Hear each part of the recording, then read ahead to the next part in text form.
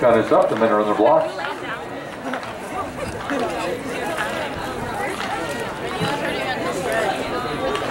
Don't run over there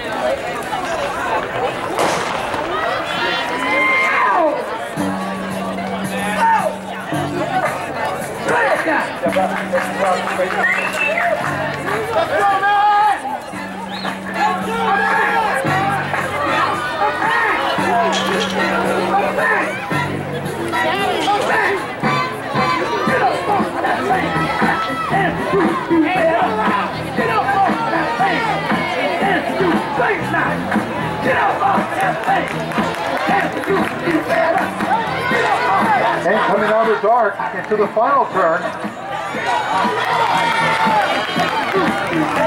It's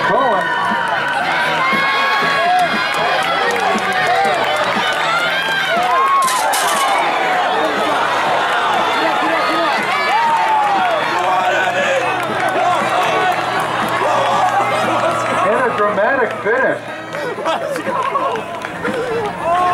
Bike Rath, 55.79. Rose, second place, 55.98.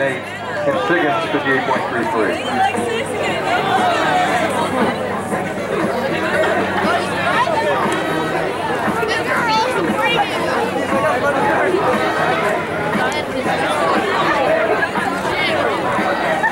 And the second heat,